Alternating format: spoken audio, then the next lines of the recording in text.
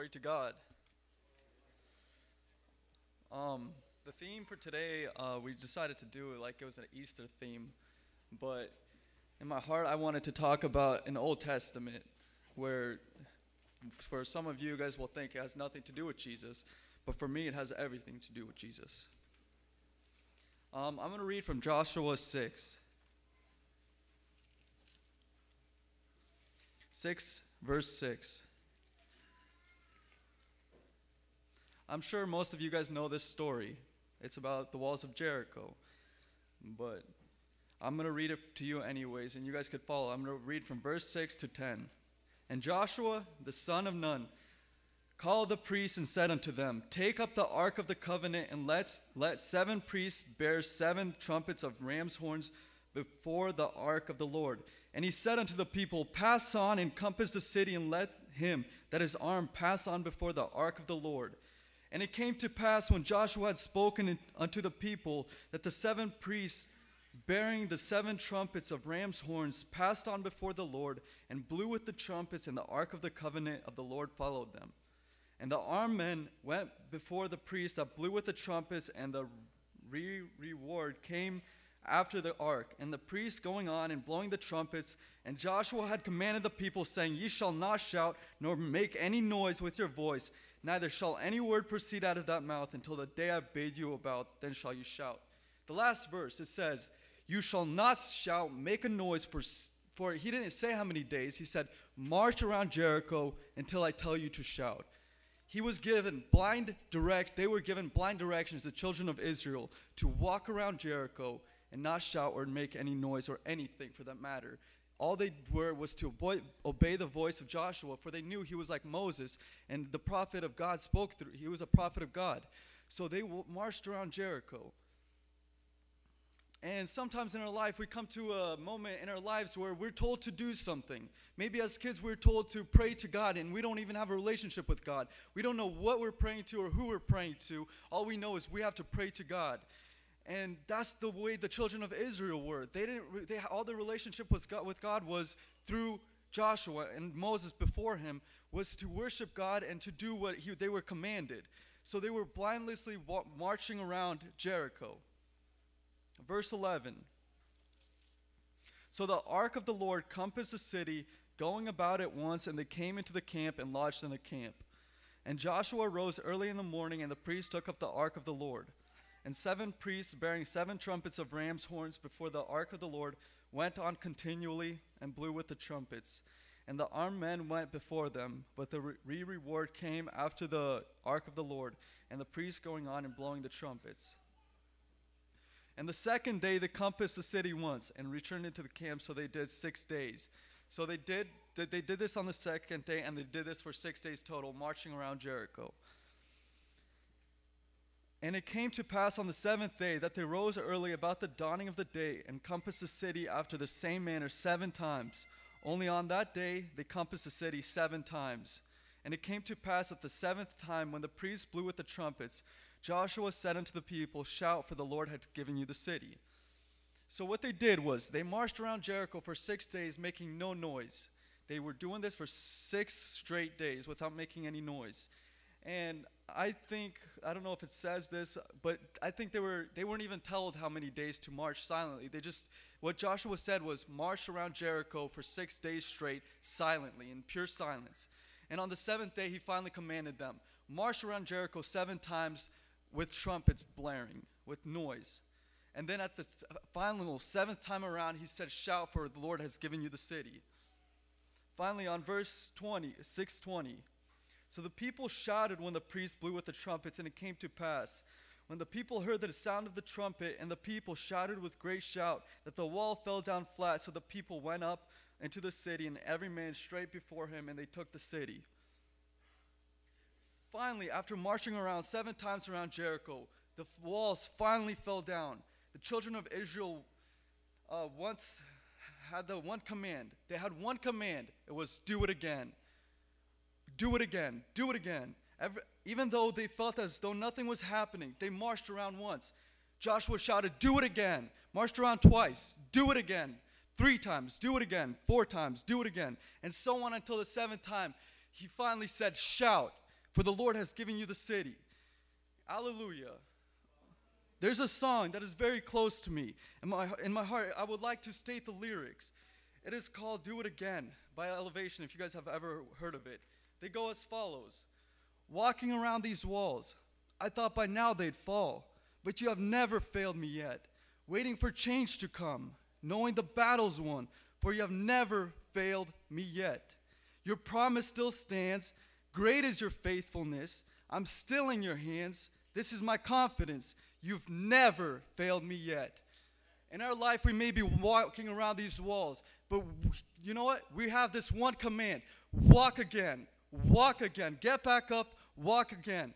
Sometimes in our life we feel down because maybe our prayers are not getting answered. Maybe we keep falling spiritually and keep wondering why. But we are called by the blood of Jesus to keep praying till our knees give out, to keep getting back up every time we fall, to endure to the very end when we will stand before our Lord and we will fall before Him and say that we did it with everything we had. And a little part of me feels as though we will be shouting. We won't just come up to the Lord, we will be shouting for our salvation. We, we have our salvation. Just like the children of Israel did when they shouted with glory that the walls finally fell down. Hallelujah. This reminds me of the story in Mark 1, if we turn to it.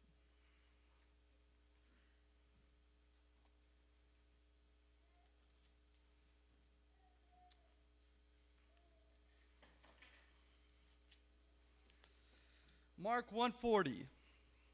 And there came a leper to him, beseeching him and kneeling down to him, and saying unto him, If thou wilt, thou canst make me clean. All it says in this passage is there came a leper. A leper. He doesn't have a name. There was no name given to him. If you look at Matthew's and Luke's account, there's no name given to the leper. And this made me wonder why was he just called a leper? Even like even if we're in a restaurant, we still want to know the waitress's name or someone that's serving us, we want to know their name. Whoever it may be, we, we want to know their name. But this leper was just given the name the leper. And this made me think sometimes in our life we are known by our issues because we feel like we feel locked down inside and our issue defines us. Our issue is what we, we're named by. And that's what the leper was. The leper, if you look at Leviticus recount, let's all turn to Leviticus 13 it talks about what lepers are supposed to do and what they're not supposed to do. It has a whole recount. I remember the first time I read Leviticus, it was probably when I was a little kid, and I read it and I was like, "What is this?" you know, because I, I mean, I was known as Jesus, like he, like I just knew about the Jesus version of the Bible, but Leviticus, because I was reading about like sacrifices and a lot of that stuff, and it was very confusing to me. So if you want, if you want to get like spiritual healing, yeah, I, I don't recommend Leviticus as the chat um, passage read, but or the. But Leviticus 13. Leviticus 13:46 is what kind of struck to me. It says, All the days wherein the plague shall be in him, he shall be defiled, he is unclean, he shall dwell alone without the camp, shall his habita- habitation be. If you research further, lepers were supposed to stay 50 steps away from anyone. 50 steps. And this leper, he was probably 50 steps away from Jesus at the time Jesus was preaching in the synagogues. And he, every single step, I think about it, every single step that the leper came was probably like a march around Jericho. Every single step probably felt like it was the hardest step of his life. But he just went forward. He probably got halfway to Jesus and he's like, What am I doing? I have to go back. But no, he, every single step, he said, No, I'm coming to Jesus. No, I'm going to get healed. And he kept walking and walking. And finally, verse 41 And Jesus, moved with compassion, put forth his hand and touched him and saith unto him, I, I will, I will have compassion on you, and you will be clean. And as soon as he had spoken, immediately the leprosy departed from him, and he was cleaned. Sometimes in our life, we're walking to Jesus with issues in our life. We feel like, no, Jesus is not going to cleanse us. But this man, he was supposed to stay 50 steps away from Jesus. He went, and Jesus had compassion on him, and he healed him in that very spot. Hallelujah.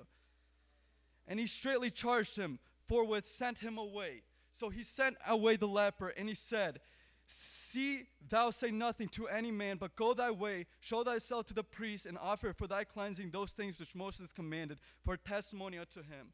But he went out and began to publish it much, and to blaze abroad the matter, insomuch that Jesus could no more openly open the city, but was without in desert places, and they came to him from every quarter. So he said, Do not say anything. But the man with the leprosy, he was healed. He was filled with compassion. He was healed. And when our, in our lives, when we are healed by Jesus Christ, by the blood of Jesus Christ, we cannot even contain it. We just shout with glory, just like the children of Israel did. We shout because Jesus had cleaned us. We say testimonies of his great power. And in verse 45, and this is why we do that.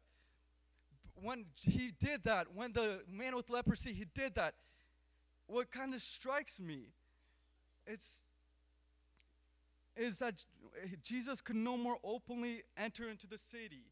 When Jesus healed him, he could no more openly enter into the city. And I started wondering Jesus took his place. Jesus took the leper's place. He took the leper's place and the leper took his place. Just like Jesus did on the cross, he took our place and he took our place and he gave his him us ours. Now we are called to be like Jesus, to live as Jesus did because he took our place on the cross and he died for us. Hallelujah. And I want to finish up closing up Mark Mark 16 to stay on the topic of Easter. After Jesus had risen again, he would met with his disciples. 14 Afterward, he appeared unto the eleven as they sat at meat, and upbraided them with their unbelief and hardness of heart, because they believed not them which had seen after he was risen.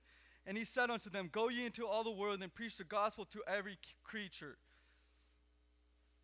He called us after he was risen again. He said, Because I gave you my place, eh, I took, I took my place and I gave it to you. You are to do what I was doing.